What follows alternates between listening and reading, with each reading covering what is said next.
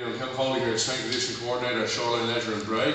We're going to go through um, a lower end progression for a vertical row, and Dave's going to be my uh, model, if you will, for the day. Okay, so what we're going to do is get him in a half kneel, but first we want to actually get the appropriate band for uh, his level. Green should be appropriate, but again, for warm up, we're going to go a lower level band. So what he's going to do is put his wrist on the back and clamp down. So that's the first thing he's going to do, and then I'm going to get him into a half kneeling position.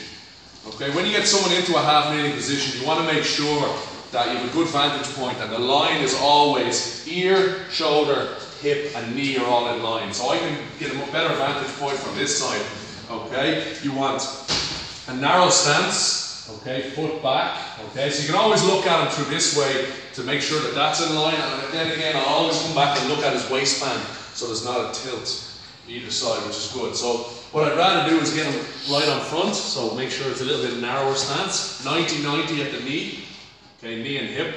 And from there I'm just going to get him to squeeze down, keeping it tucked chin, okay, all the way down. And at the bottom, without any rotation of the body, I'm just going to get him to try and bring his elbow a little bit in towards his spine. So get that little bit of movement inwards as well, so you're getting that scapular retraction. So Dave is a pretty functional athlete. Okay, so again, this would be a lower level progression for him. Okay, you could move him on to a half kneel or maybe a chin up iso. So that would be the next progression from there because he can hold the half kneeling position quite well. Okay, but it's a good exercise to start off uh, a vertical row. Thank you.